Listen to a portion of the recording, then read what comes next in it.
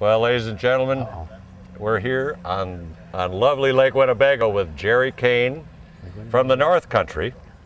And we go back to the earliest 70s where we first met. And I'm, I'm here to ask Gerry a little bit, uh, a little, little time perspective, a little history of his musical career. And, uh, and let, let's, uh, let's just open up with you. Think back to your early influences, what, what made you pick up the guitar, maybe your first couple bands, what was going on, what were you listening to, a little summary of your career. Like everybody else, Jim, it was Chuck Berry, Buddy Holly, the Everly Brothers, Elvis, all that type of stuff. And I said the reason I'm here at Dick's house, Dick Stark lived across the street from me. And I've known Dick since 1954. So we were literally I hanging didn't know around. you were that. Oh yeah, yeah, Yeah. And, and, Ma- and Mal, you know, the three of us had this weekend.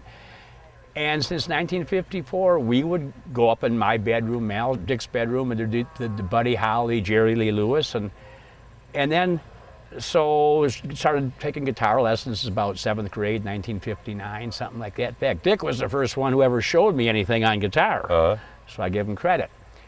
But then uh, Dick moved to Wisconsin in 1960.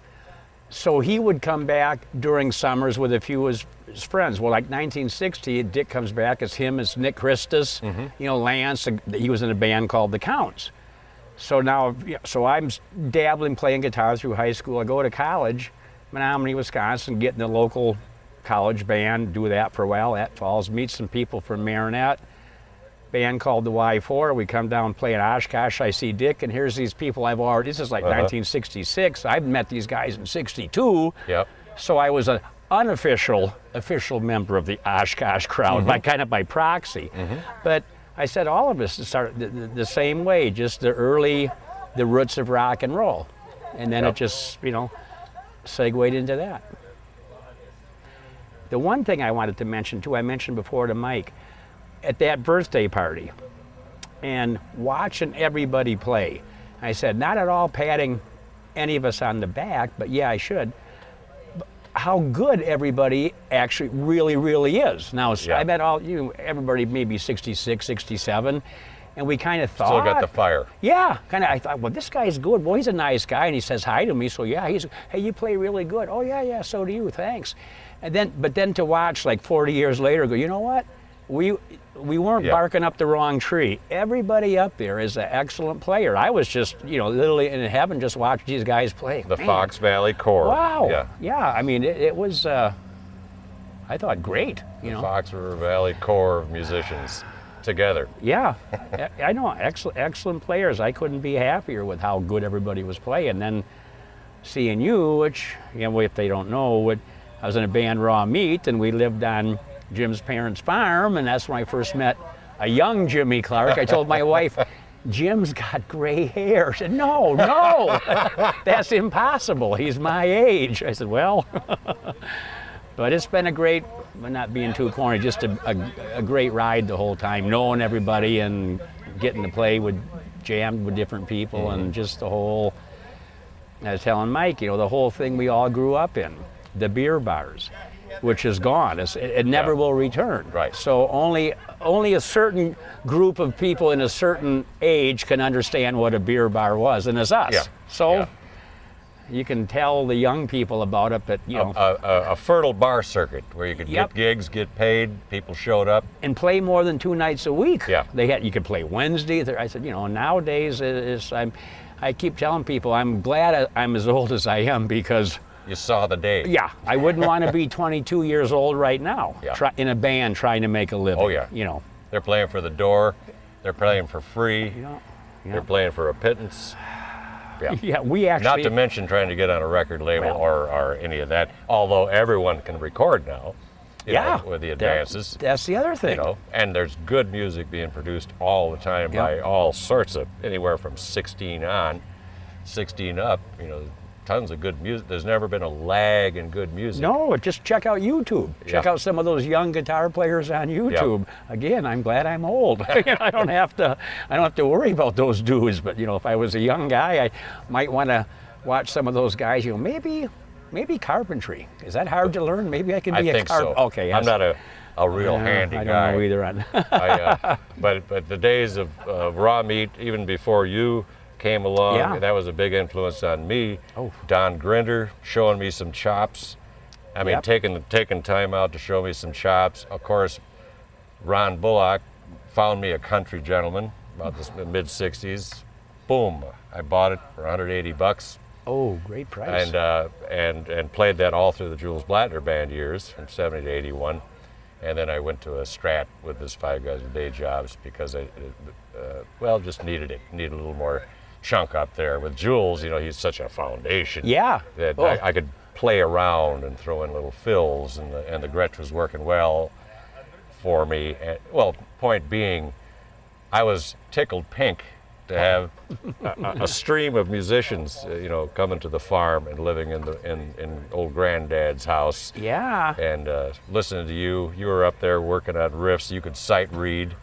You know, that, that's all Chinese to me. Yeah. But you were up there Was- working on jazz riffs, this, that, and the other. I think I was uh, showing off a little bit. Oh, well, just then try, you no, just trying to put me some. stuff. You were just showing me stuff, and, and I'd go out and see you all play, and oh my goodness, and then, you know, a little after 70, of course, I was off with Jules, you know, 300 nights a year. well, that's what I mean. Come crawling in sometimes at your house because it was morning yeah. when I'd return. and then I'm going through the, the next several years because after that I started playing. Then Donnie Klusky and I started Oh, doing the duo, yeah. and then I'm looking. I see you know Jules Blattner, you know Warren Groovy All Star Band, and then there's five guys with day jive. Boy, that's that's just Jim Clark's. I said, wait a second. I'm kind of playing weekends here, and Jim Clark's playing six nights a week. What, what's going on here? I said, now I got to say, oh, I know Jim Clark. Oh, he's a good friend of mine. Just tell him.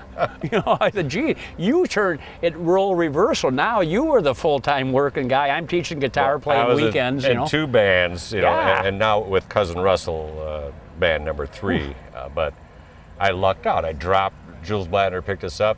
What was that? You know, did we earn this? No. But all of a sudden, boom. Good gig, you yeah. know, we, we, we got to develop and write on his name. You know, bookings were endless. Five guys with day jobs. It was one one has been and four never beens, and, and we had a good run. we had a I good saw it at run. Summer, the, you guys at Summerfest, Oh, the yeah. name, and I thought it was a cool name. I, Yeah. I said, wow, that's a great name. The only whammy we ever got was for the name, Wisconsin Music Award. It was for the Oh, for the name. well, okay. I would have voted in that one. And it was Mark Maga that said, what? I said, you know, that five guys would date. I just like that name. He said, well, that's Jimmy Clark's band. I said, what? Good. That's even better. Lisa, old cousin Jim's in the band, and it's, it's a great name, you know. well, it was uh, you know Dr. Lee Weisgerber, you know my, my ex brother-in-law, and uh, my ex-wife got us together with David Pelz and, and uh, said, uh, Pelz, okay. you guys you guys could should get together. So we, first time we ever made any noise was at my ex-wife's parents' uh, parents' house, her mother's house, and, and Lee had great talent as a singer, and then several bass players later, Ed Wagner came in. He had a great voice. So together, you know, they could sing very well together. And uh, we had Bill Conley, the alderman from uh, from uh, Mequon, who was superb on keyboards. So you know, it- Well, so it worked out. Then he left, and uh, but uh, we just rolled on for 18 years. And, uh, I was going to say the Milwaukee thing earlier. Uh, the college band I was in, the Benders, which actually uh, on the garage band circuit, one of those records went for two thousand twenty-five dollars. Uh, no, claim to fame and garage band '66. But the drummer and singer in the Benders was Paul Berry, who had Barry's, Barry's Truckers. Yeah. So I just went into Paul, oh five six years ago. I had a great time. Hadn't seen him in thirty some years, Yep. but.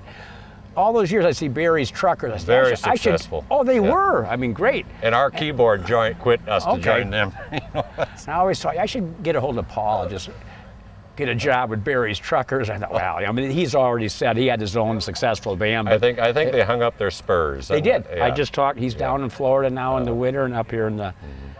Um, but you know, there's uh, just so many, yeah, just so many bands. But you, you and I have a great history together. Well- Well, uh, you know, and, uh, and uh, Well, from, yes. from harm hick, farm hick to a little mutual respect. But I, I, know, I know how you play. You're up, up here somewhere. Uh, yeah, I owe you. I owe you it's the- money. That's what. is. and that white duck album. yes. still got one too. Damn it, Yeah? brought that up on camera. he'll get one. He'll get one. You heard it, the White Duck album, Don and Mario. Yep. But Don, Don was one of the the Oh. best voices Yep. to come out of the valley. Yeah, he was definitely. And then it's art. You know, the, he's the most talented guy I've ever met. His art, his Oh, singing, goodness, his yeah. paint. I mean, Yeah. it's just it's just a case. One of those guys that should be a superstar. Yeah. By now, Oh, but yeah. you know, I we were talking about that last night. You you always think, you know, with the, if you got the talent, and I'm not saying me because like guys like Don, okay, and then they're going to make it for sure. And then as time goes on, well, they don't make it. I go, wow, there's actually people really talented who don't make it. Then the more people you start meeting, I say, wow, you know, most people who are really talented don't make it. My father you know? told me at a young age, some of the, he was a jazz musician, you know, sax and clarinet from the 30s on, till he couldn't breathe anymore. Uh, Yeah. But he said the best jazz players are barbers. You know, the best jazz players Yep. are doing something else. my girlfriend's father in, co- in college, and I said, you know, I was quitting college and I'm going to join a band. He says, well, hope you hope you got a good driving record. And I, what?